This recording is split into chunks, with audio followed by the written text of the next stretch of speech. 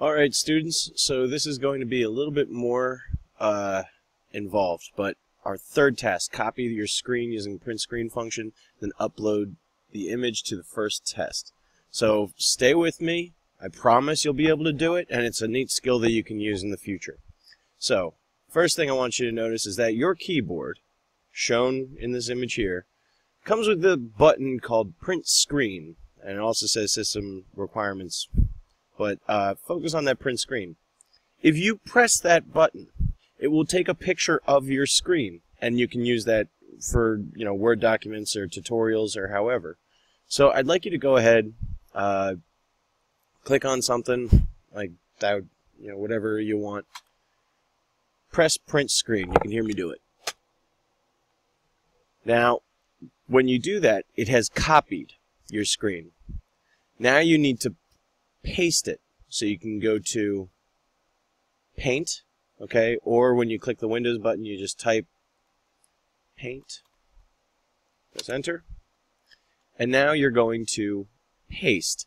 To do that, you can either, let's see, click this, or press Control V as you see the little shortcut that pops up. So we're just going to paste it, and here, it has a picture of your video. If you hold the Control key, and you scroll down with your mouse, you can zoom out. Okay, so we're going to save this as uh, test image 1, and you can just save that to your desktop. I clicked over here for the desktop. I guess you could also go, uh, yeah, just look for it on the left. Okay, test image 1, save it, and now, when I go to my desktop, I should have test image 1.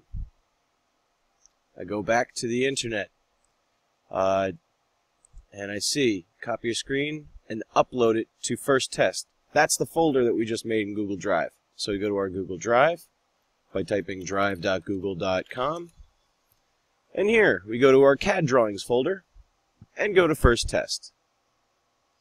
Now there's two ways that we can upload files. One, we could right click and say upload files, or you could just drag the file in. I'm going to do it this way because it's more complicated.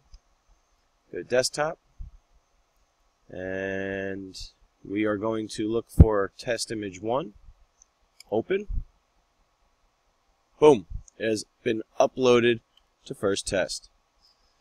Now, from there, we need to submit the image to this Google Classroom by using Google Drive.